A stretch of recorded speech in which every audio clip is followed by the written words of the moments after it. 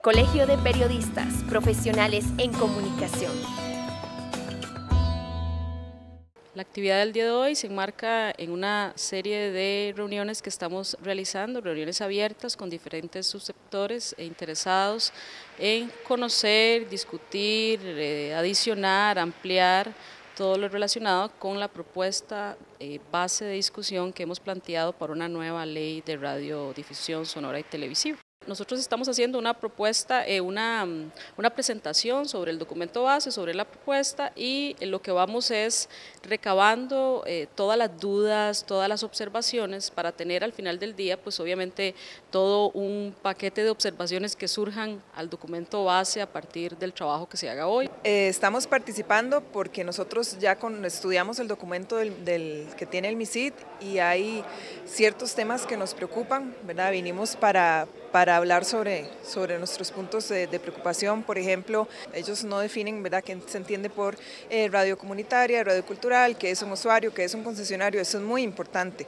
Nos preocupa también la, la definición tan cajonera que tienen sobre radio comunitaria. Para ellos es eh, una cuestión de términos geográficos, ¿verdad? No incluye eh, comunidades de sentido, otras eh, organizaciones de la sociedad civil que podrían estar interesadas no solo a ser usuarios del espectro, sino a gestionar, ¿verdad? ser productores y gestionar.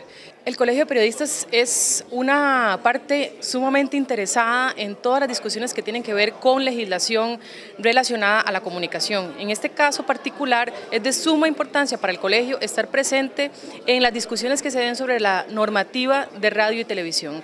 En este caso estamos participando, estamos analizando una propuesta de ley desde este, el gobierno, digamos, del, del MISID como ente encargado, regulador de este tema, y también estamos conociendo las iniciativas que están saliendo o una iniciativa que ya se tiene desde el sector de la sociedad civil. La Defensoría de los Habitantes parte de la premisa que la libertad de expresión es un derecho humano y que cualquier cosa que se haga o se deje de hacer va a tener un impacto positivo o negativo en el ejercicio pleno de ese derecho y desde esa perspectiva es que estuvimos analizando la propuesta y hemos hecho varias observaciones importantes. Nuestro interés en este sector es bastante amplio Queremos apoyar no solamente la rama del derecho, que es propiedad intelectual, sino todas las áreas tocantes en Costa Rica a esta especialidad. ¿Cuál es el interés nuestro como colegio? Es que eh, los intereses, necesidades de la población costarricense en términos de comunicación de no solamente nuestros agremiados, sino que se respete el derecho a la comunicación, que haya sectores que tengan acceso a medios de comunicación, que exista pluralidad de voces, pluralidad de medios, que haya medios regionales, medios comunitarios, que no haya una concentración de frecuencias en pocas manos, este, que se generen más fuentes de empleo para nuestros agremiados. Eh, todos estos temas son temas clave para el Colegio de Periodistas y vamos a estar, eh, y hemos estado y seguimos estando y estaremos presentes en todas las discusiones que tengan que ver con esta temática de, las nuevas leyes de radio y televisión que requiere este país? Entre las observaciones más importantes, quizá la primera es el tema del acaparamiento, las disposiciones que trae la propuesta sobre acaparamiento del espectro. Nos preocupa muchísimo por dos razones.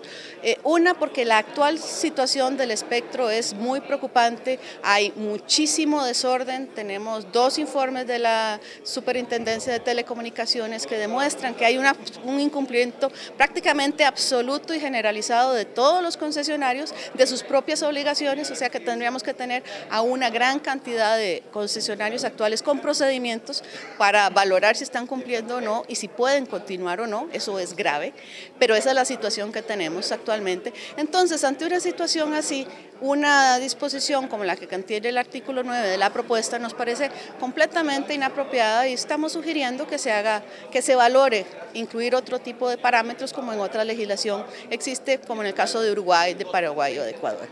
Eh, otro tema que nos parece fundamental es el tema del canon por el uso del, del espectro. Si revisamos la ley de radio es ridículo es más caro que usted y yo que estemos aquí que lo que establece el canon de la ley de radio para un bien de manial tan valioso que podría estar generando recursos importantes, no solo para la regulación de la actividad, sino para otros usos que podría ser perfectamente apoyar la radiodifusión comunitaria o, cualquier otro tipo de usos que en este momento es un recurso que se está desperdiciando. Sabemos la resistencia que va a generar un tipo de, canon de esa naturaleza, pero bueno, es el espectro radioeléctrico, es un bien de manial, tiene un valor en el mercado y el país en este momento lo está desaprovechando.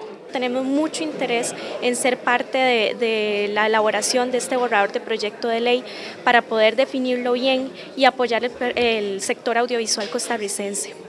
Colegio de Periodistas Profesionales en Comunicación.